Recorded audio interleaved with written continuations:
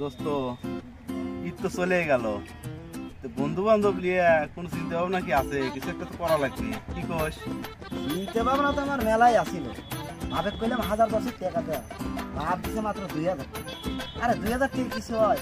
চিনতে ভাবনা আসিল যে, ভাব হাজার দশেক টাকা দিবি গান ফ্যান দেখি ঘুরবো। তা বাপ যে কাম করিছে, আমার রঙিন দুনিয়া একেবারে সাদা কালো হয়ে গেছে। আমার অবস্থা তো আরও খারাপ। আমি আর কি কব? আমার বাড়িতে একটা তিন মাসে অন্তঃসত্ত্বা ছাগল আছিল। এটা দিয়েছে হাজার সাতেক টাকা পাইছিলাম। ভাবলাম যে টাকাটা তিন গুণ করব আইপিএলে লাগাই। তিন গুণ তো দূরের স্থান, যা ছিল সব গেছে। বাড়িতে একটা দুরা কাটা পাঞ্জাবি ছিল ওটা দিয়ে কোনো রকম তা যার কোনো অবস্থা নাই, তার আবার ব্যবস্থা। তুই না কইলি তোর বাপ দুই হাজার টাকা দিতে হ্যাঁ। তুই কোন কিছু দিসনি আর বাদ বাকি আমি দিয়ে একটা ব্যবস্থা করব গেরের পোলাবান বাইক নিয়ে মাল দিয়ে বেড়াবিনি আর আমরা মাল খাব হুগা মারা গেছে আমি আর জীবনে আইপিএল খেলতেছে না। এতে কান ধরে উদ্বোস করতেছি আর কাউকে খেলবেরও দিচ্ছে না। তুই চুপ কর তুই তো প্রতিবারে বালের কথাই কও। গতবার তোর নানির কসম খায় কলি যে বাল ছাড়ার আমি খেলব না নে। কিন্তু কি হইল দেখ তোর নানি তো ঠিকই চলে গেল কিন্তু তোর বালের এই আইপিএল খেলা গেল না। বাদ দে যে কুত্তো গু খায় ও যদি কুরমা কুলাও দিস ও গুই খায়। দোস্ত এক কাম কর তুই কিছু দিসনি আর বাদ বাকি আমি দিয়ে ব্যবস্থাটা করব না।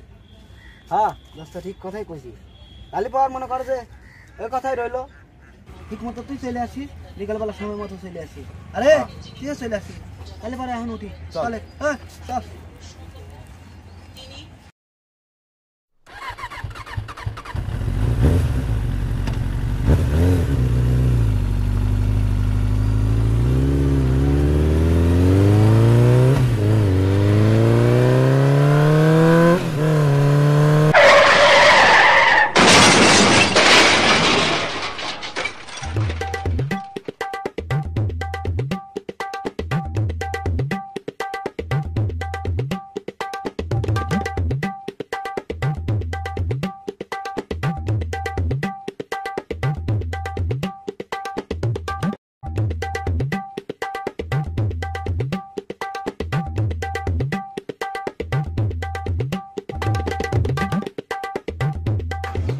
ভাই। আপনার পোলাকে দেখলাম যে মাঠের বগলে মালিকে মাল খায় মালিকের ঘরে পড়ে রয়েছে। দেখছ?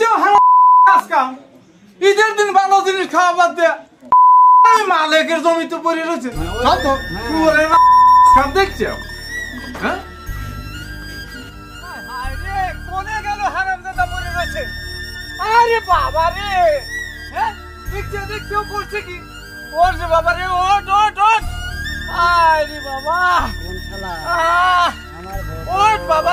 ইস, কি কামটা করছি রে? আরে বোতল বোতল ধ তুই।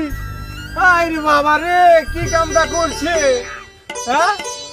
আরে হারাম দাদারা বাপুরা, তোমাকে এই কইতেছি। ঈদের দিন মাল খাইয়া সাপ খাইয়া যেখানে সেখানে পড়ে থাকো না। তোমাকে এই কইতেছি, আমার হারামজাদাটা কি করছে দেখছ? জীবনটা অযথা নষ্ট করো না।